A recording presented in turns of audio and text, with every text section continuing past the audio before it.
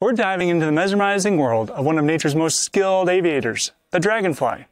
These incredible insects are not just fascinating to watch, but play a critical role in our ecosystems. And stick around to find out what makes dragonflies so cool, especially the species found right here in North America. As the days get warmer and the air is buzzing with life, you'll start to notice these agile flyers darting over ponds, streams, meadows, and maybe even your own backyard. But have you ever wondered what makes dragonflies so unique? Let's find out by first exploring their life history and some interesting facts about them. Then dive into their habitat, diet, and how they differ from their close relatives, the damselflies. And lastly, I'll make sure to provide some tips for attracting these interesting insects to your home and garden. Dragonflies belong to the order Odonata, which means tooth one in Greek referring to the serrated mandible. There are about 5,000 species of dragonflies worldwide and around 450 species in North America alone. Let's start by exploring their fascinating life history. Dragonflies exhibit an intriguing life history, going through incomplete metamorphosis, which begins in the water. They lay their eggs in or near fresh water, and these eggs hatch into aquatic larvae called nymphs. These nymphs are voracious predators, feeding on other aquatic insects and even tadpoles, and small fish.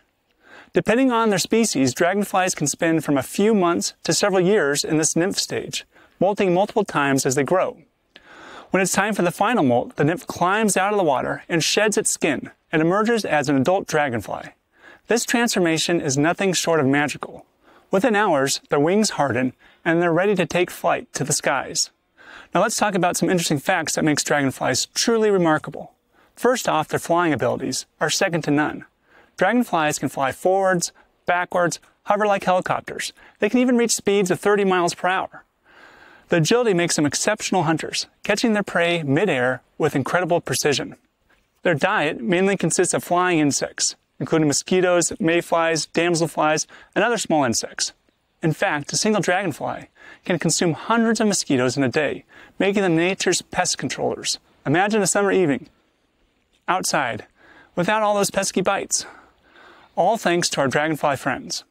But what features make dragonflies such great hunters, besides their spectacular flying abilities? You're right, their eyesight. One of the most fascinating aspects of dragonfly is their vision.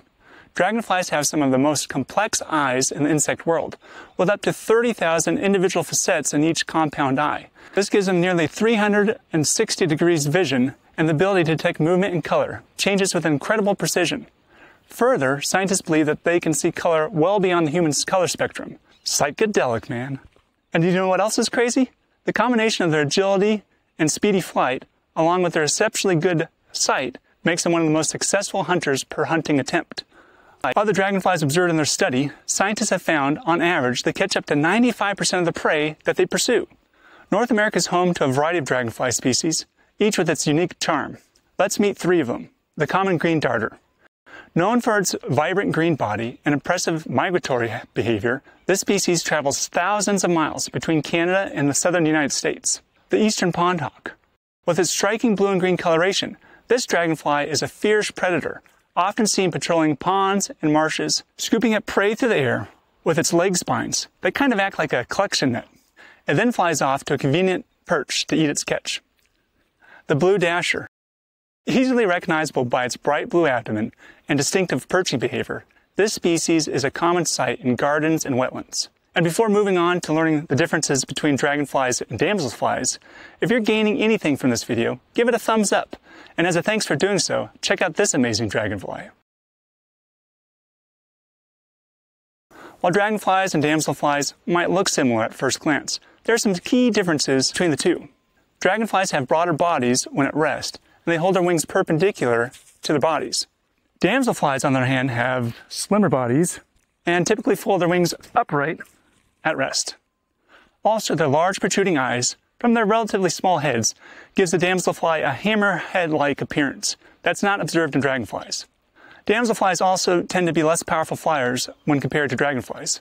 However, both are equally fascinating and play important roles in their respective ecosystems. Creating a dragonfly-friendly habitat in your backyard is a great way to attract these incredible insects, supporting their conservation. All you need is a water feature like a small pond with some aquatic plants. This provides the perfect breeding ground and a place for nymphs to grow.